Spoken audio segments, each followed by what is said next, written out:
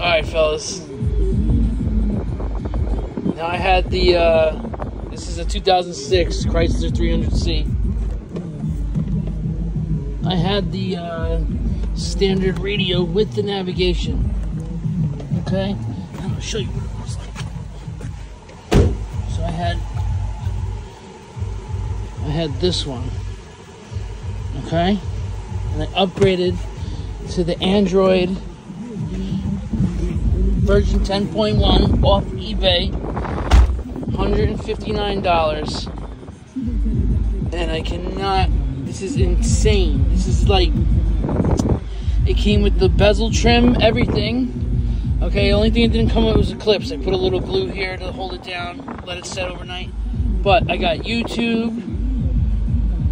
You know, this this is just an insane, and it's all touchscreen. Okay, my my screen was going on and off on the other factory one. It was flashing. This is so nice right here. Radio.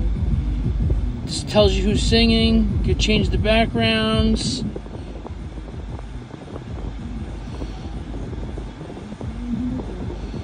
Okay. Dude, this thing is so cool. Highly, highly recommend this. I installed this Okay, this is no lie. If you didn't have to change the vents and the hazard buttons over, it would have been a 15 minute install. It comes pre wired. All you do is plug it in. There's no wire splicing, there's no grounding wires, nothing. You literally unplug the back of your old radio and plug this one in. It has GPS, it has uh, rear view camera is an option to buy. Um, I left it off just so, so I could have a faster install. And you'd have to add a camera in the back. But yeah, you could do this in about 30 minutes. You can upgrade your radio to a 10 inch touchscreen in 30 minutes. Okay? What's not to recommend about this? The screen is incredible. I got YouTube. It's Bluetooth, it's an Android. It's basically a tablet in your car.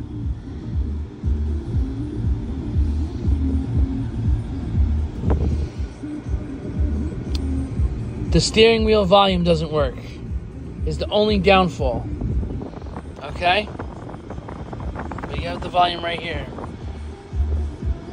Time was already programmed.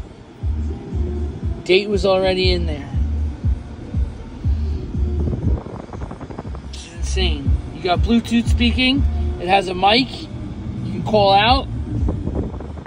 Highly recommend. All right. Later.